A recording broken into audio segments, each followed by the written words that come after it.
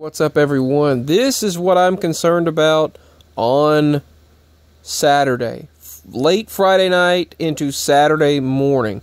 Now, my father has a DOT physical. We're gonna have to pick him up, and then he'll we'll take him up just five miles north of our location, and we will have his physical done for his job, his DOT physical. And right about that time is when the storms, according to their current trek, will be moving through. And we're, like Leland says, smack dab in the middle out of a three of five. So we're right in this area, right in here. And then you've got orange or the level three threat.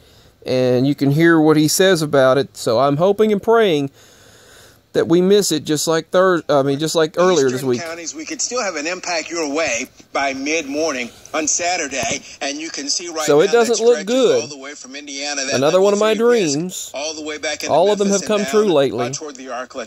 So the threats are going to be the tornado threat. You can Uh, see the medium for the tornado key threat, concern, and that wind, hail and flooding, hail and flooding being light. Heavy downpours are a possibility. Let's take exact Let's now watch what happens. and move this into This is Saturday what they're showing uh, right uh, now. Saturday morning. Here's that line. So this is 7 a.m., and this is 8 a.m., hours. But again, and 9 a.m.. Saturday, this is still having an impact. So 8 and 9 a.m. it's going to look rough. It looks it looks pretty rough. So we've got cooler air coming in and and then warmer air coming back in behind it. Could be in the 70s again next week. So pretty crazy weather, but so let's hope and pray that we remain safe. Just wanted to share this with everyone. Not the most calming video, but peace. Signing out.